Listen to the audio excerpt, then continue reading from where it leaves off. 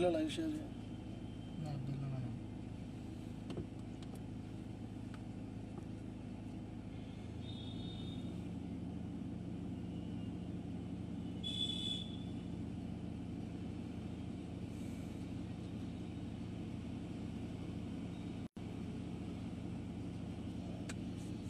ఒక three minutes time ఉంది. Three మినిట్స్లో లైవ్ స్టార్ట్ చేద్దాం లోపు తమ్ముడు మధు హాయ్ బాగున్నావా?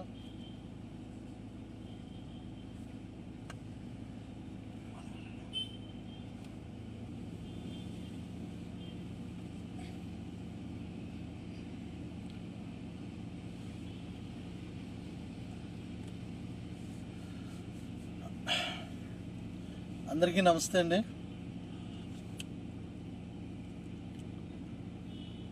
జాన్ తమ్ముడు హాయ్. ఎలా ఉన్నారు?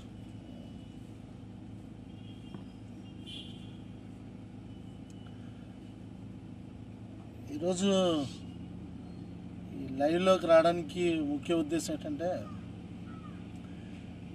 రామ్జీ హలో అందరికీ నమస్తే. ఈ లైవ్ ఎక్కువసేపు మాట్లాడను మహా అయితే పది నిమిషాలు మాట్లాడతాను. కరెక్ట్గా ట్వెల్వ్ థర్టీ టైం ఇచ్చాము. ట్వెల్వ్ థర్టీకి లైవ్ స్టార్ట్ చేద్దాం. తమ టైం చూడండి. టైం ఇంకా త్రీ మినిట్స్ ఉంటాను త్రీ మినిట్స్ ఉంది.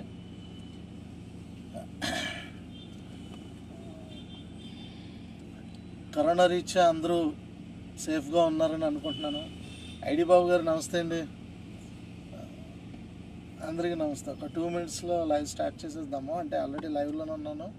కంటెంట్ ఏదైతే మాట్లాడాలనుకున్నానో టైం ట్వెల్వ్ థర్టీ ఇచ్చాను కనుక ట్వెల్వ్ థర్టీకి షార్ప్ కంటెంట్ మాట్లాడదాము. So hi Akhiranandan hi okay అంతా భగవంతుడిదయ కరోనా రీచ్ అందరూ కూడా చాలా అంటే పరిస్థితి అసలు ఏమీ బాగోలేదు. అందరూ కూడా జా జాగ్రత్తగా ఉండాలి.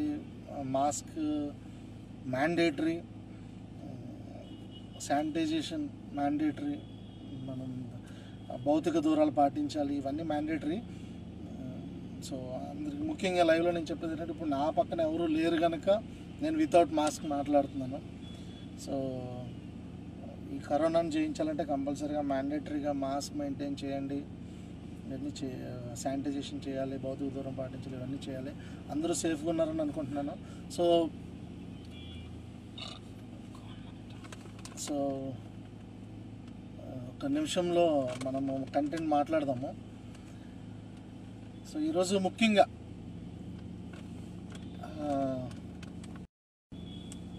మనము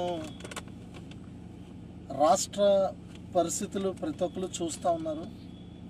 సో రాష్ట్రంలో ప్రస్తుత పరిస్థితులు ఎలా ఉన్నాయి అనేది ప్రతి ఒక్కరికి తెలిసిందే.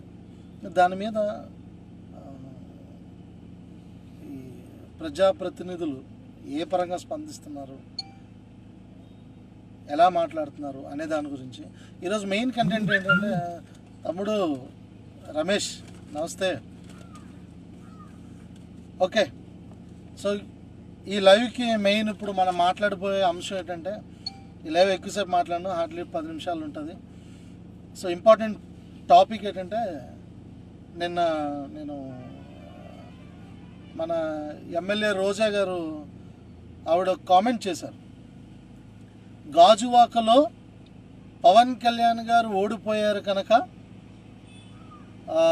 రాజధాని విశాఖ ప్రాంతానికి రావడం ఆయనకి ఇష్టం లేదు అని మాట్లాడుతున్నారు. మూడు రాజధానుల అంశం గురించి మాట్లాడారు. ఇక్కడ మీరు గమనించాల్సింది రోజా గారు నేను ఒకటి సూటుగా అడుగుతున్నాను. మా అధినేత పవన్ కళ్యాణ్ గారు ఏం మాట్లాడారో మీరు విన్నారా? అంటే ప్రతిదీ కూడా ఆయన ఏం చెప్తున్నారు? ఇప్పుడున్న పరిస్థితి కరోనా విపత్తు ఉంది కనుక ఈ విపత్తు సమయంలో ఇటువంటి నిర్ణయాల కన్నా ముందు ప్రజల్ని ఎలాగ కరోనా నుంచి కాపాడడానికి ముందు జాగ్రత్త చర్యలు తీసుకోండి అని చెప్పారు. మన ముఖ్యమంత్రి జగన్మోహన్ రెడ్డి గారు ఈ తీసుకొచ్చినప్పుడు one not eight service one not four సర్వీస్ని తీసుకొచ్చినప్పుడు మా అధినేత పవన్ కళ్యాణ్ గారు అది మంచి పని. అది గొప్ప విషయం. ఈ కరోనా విపత్తు సమయంలో ఇటువంటి నిర్ణయం తీసుకొని ప్రజల్ని కాపాడడానికి అంబులెన్స్ని తీసుకురావడం అనేది ముఖ్యమంత్రి గారు ప్రజల పక్షాన ఒక మంచి నిర్ణయం తీసుకున్నారని చెప్పి ఆయన మెచ్చుకున్నారు. ఈరోజు మా అధినేత పవన్ కళ్యాణ్ గారు ఇటువంటి పరిస్థితుల్లో ఇటువంటి నిర్ణయాలు తీసుకునే దానికన్నా ముందు దీనిపైన కరోనా పైన కాన్సన్ట్రేషన్ పెట్టండి అంటే అది మీకు తప్పుగా అనిపించిందా? ఆయన ఏమడుగుతున్నారు ఒకప్పుడు మీరు ప్రతిపక్షంలో ఉన్నప్పుడు చంద్రబాబు నాయుడు గారు తెలుగుదేశం పార్టీ అధికారంలో ఉన్నప్పుడు రైతుల దగ్గర అక్రమంగా భూములు అవసరం లేకపోయినా ముప్పై మూడు ఎకరా ముప్పై మూడు వేల ఎకరాలు మీరు రైతుల దగ్గర నుంచి స్వాధీనం చేసుకున్న పరిస్థితుల్లో ఇంత భూమి మీరు ఎందుకు తీసుకుంటున్నారు? ఇది కరెక్ట్ కాదు. మీరు ఏదైనా తీసుకుంటే రేపొద్దున మీ పార్టీ అధికారంలోకి రాకపోతే రైతులకి సమాధానం చెప్పేది ఎవరు అని ఆనాడే మా పవన్ కళ్యాణ్ గారు ప్రశ్నించారు.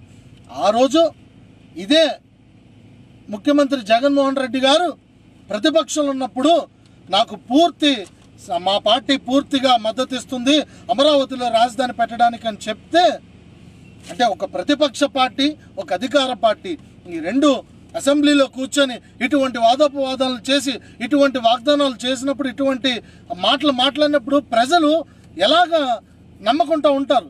ప్రజలు నమ్మి ప్రజలంటే ఇక్కడ ముఖ్యంగా మాట్లాడాల్సింది రైతులు.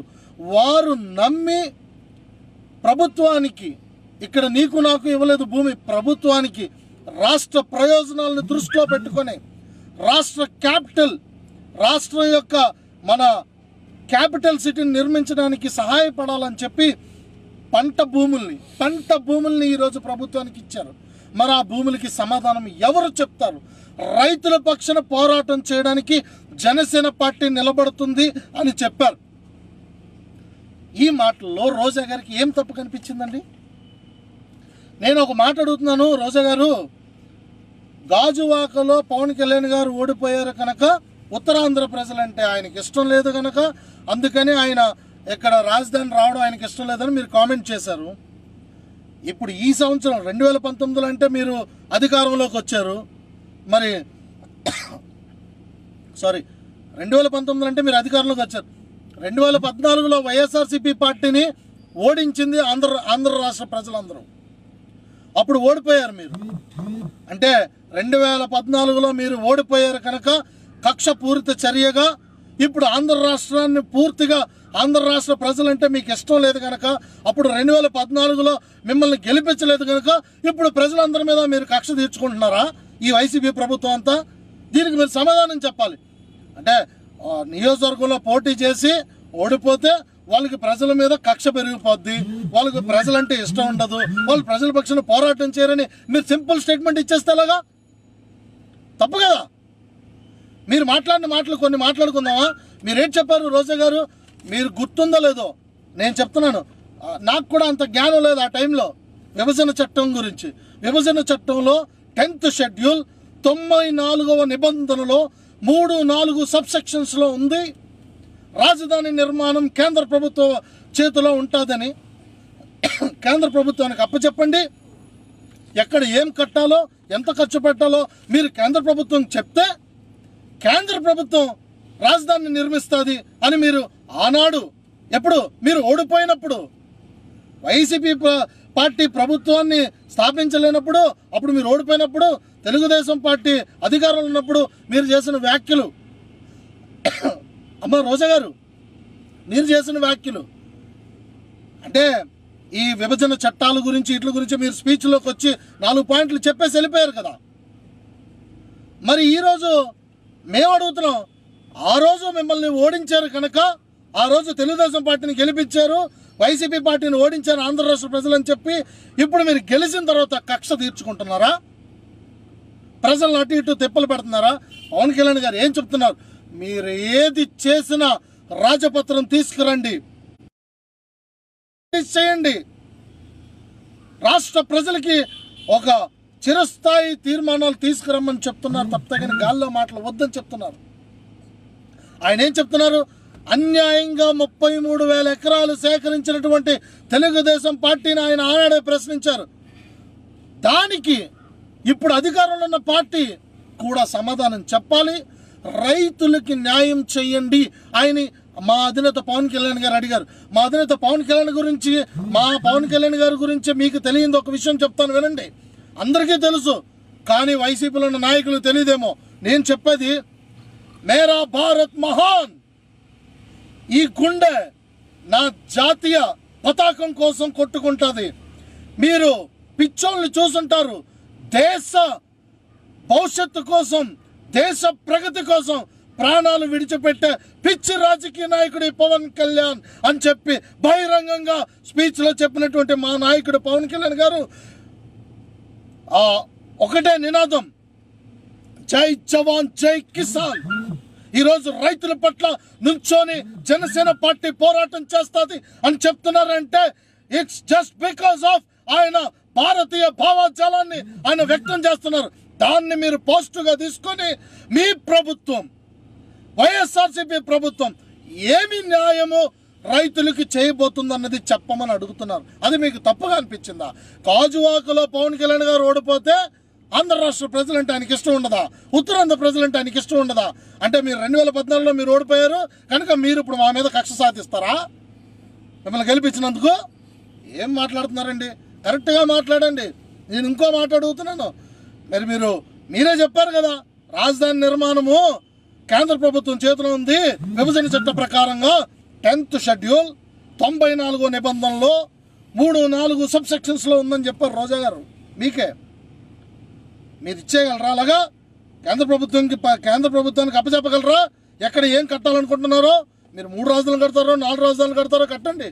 కేంద్ర ప్రభుత్వం చెప్పి వాళ్ళతో కట్టించగలరా? ఆ రోజు మీరు చేసిన వ్యాఖ్య ఒప్పుకుంటారా? రాజకీయ పరంగా ఏదైనా ఒక వ్యాఖ్య చేస్తే భవిష్యత్తులో అది నిలబడాలి. నేను ఇప్పుడు చెప్తున్నాను. ఆనాడు తెలుగుదేశం ప్రభుత్వం భూములు రైతుల దగ్గర సేకరిస్తున్నప్పుడు కళ్యాణ్ గారు ప్రశ్నించారు.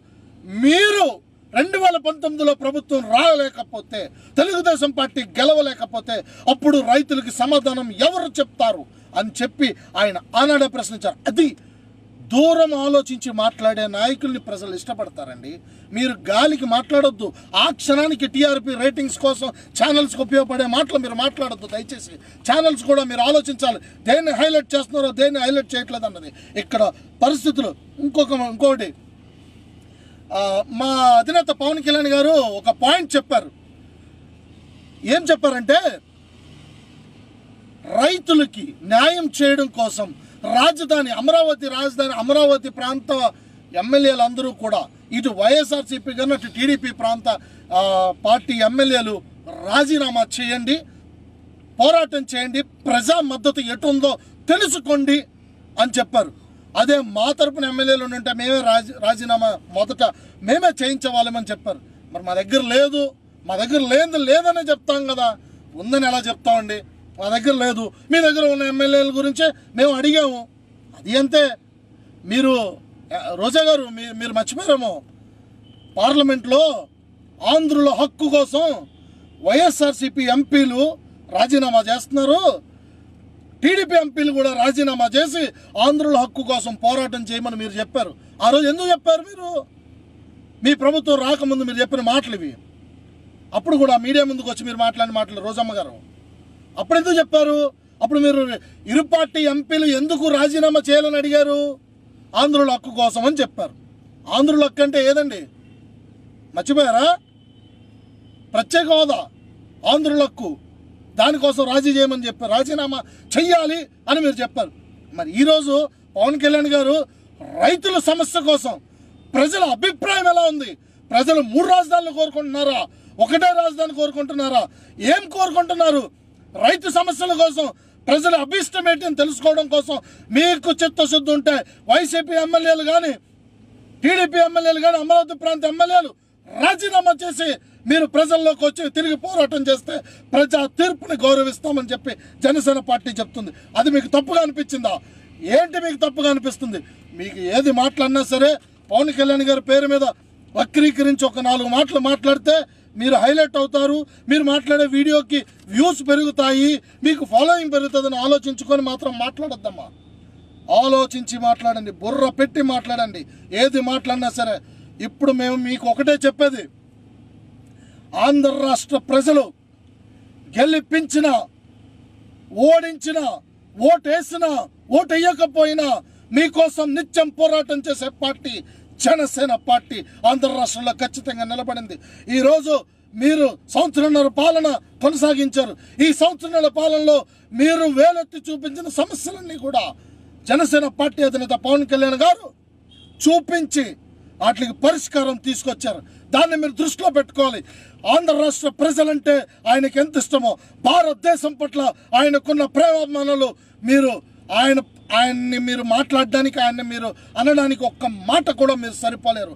ఆయన ప్రేమ ఆయనకి ప్రజల పట్ల ఉన్న ప్రేమ మనలు మీకు తెలియకపోతే తెలియనట్టుండండి తెలిసి తెలియని మాటలు మీరు కానీ కామెంట్ చేస్తే ఊరుకునేది లేదు. జై జనసేన! మీలో ఒకడు మీ జన సైనికుడు మీ బోడపాటి సుధాత్ పాయకరాపేట ఉంటానండి. అందరికీ మన జన సైనికులందరికీ కూడా నా నమస్కారాలు.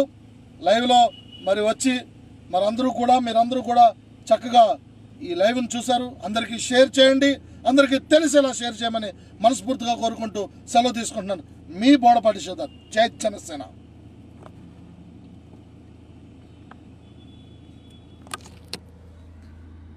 ఏంటండి? వీడియో నచ్చిందా? అయితే ఓ లైక్ వేసుకోండి. లేదంటే ఓ కామెంట్ చేయండి. ఎప్పటికప్పుడు మా వీడియోస్ చూడాలంటే సబ్స్క్రైబ్ చేసుకోండి.